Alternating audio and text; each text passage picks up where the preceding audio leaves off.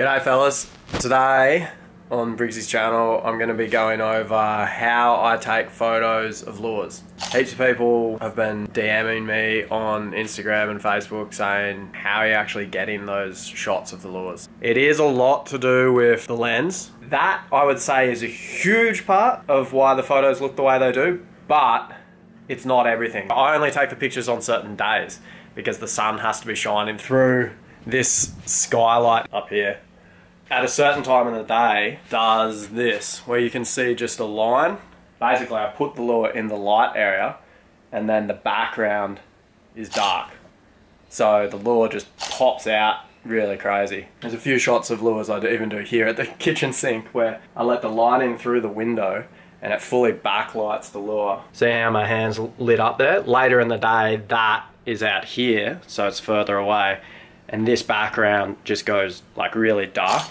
This is full on DIY style, like do it yourself. It's using my house and whatever kind of lighting situations I can find that are gonna make a lure look interesting and something that people wanna, you know, interact with and talk about. So this thing 600D, EOS 600D, and I think they have different names in different countries. I don't even know how much they are now, but it was dirt cheap when I got it. It was like the body was 500 bucks or something. That lens is special because it gives a lot of blur to the background. It was 700. I'll have a look right now how much it is. So it's 300 bucks.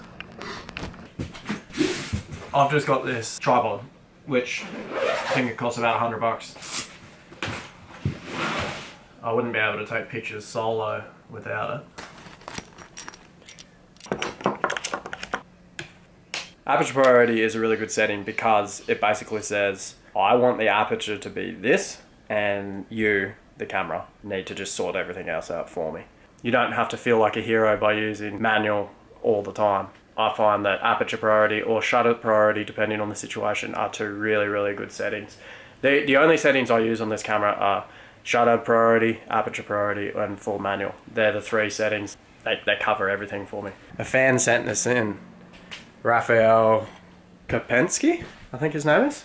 I might be pronouncing it wrong. But this thing's what they use over in the US for striper and bluefish, which we call tailor. He sent me pictures of it and I was like, oh, it's kind of a pencil popper. And he's like, yeah, but you tweak it, we tweak it side to side up there. He got me keen. And I said, send it to me then. It's his mate that makes them. Tank. So I'll, I'll, do a photo of it for him and give his mate a shout out on Facey and Instagram. The tail weight, it's so tail weighted, you know it's just gonna cast a mile. While I'm set up like this and the wife and kids are out, I should probably do as many lures as I possibly can. Oh yeah, there's this thing, which actually another fan gave me. he sent me a Nomad, just he was stoked for all the help we gave him over the years, talking to him about what lures to use and not location. We never talk about location, but just giving him tips on the techniques we use. And he watched our DVD and frothed on that as well. So shout out to Jai Ford for that. Might have to take a picture of one of these. The old SXR 14 has to be my all-time favorite lure. It's my all-time favorite mass-produced lure. I love a handcrafted lure these days, but this lure would have caught us more fish than anything else. And I've never taken a photo of it. Walk around the house with the lure in hand, with my camera, looking for that perfect lighting situation. And I use this little extra light to fill in any dark places. One little light could be anything. You could even use a torch probably. But if there's something that's not looking right, I'll, I'll use this little thing handheld to try and find that perfect shot. I think this is good. I always try and put the tip of the lure up and the tail down slightly. Just gives a better feel. Trying to get my body further away so it blows out the light in the right place and hold the lure. I've got a good shot there. I'll show you. I've got a really good shot there. I like this. It's popping, man. It's not even a popper and it's popping, man. When it goes into Photoshop, first thing I do is it goes into the raw editor and I edit it quite extensively. When I get it onto the computer, that's where I really put the color into it. I sharpen the areas I want, give the vignette, all the things that I think make a nice photo of a lure, I add in Photoshop. So the lighting and the composition is mostly done in camera, but then a fair bit of tweaking I do on the raw file to get the most out of that image. What I'm doing here, I can't really like give you a tutorial on because every photo in my vision of it and its perfect state, what I'm trying to get it to, uh, is different. So I can't I can't just say change this setting, change that setting, and you'll get an awesome looking photo because every single shot's different.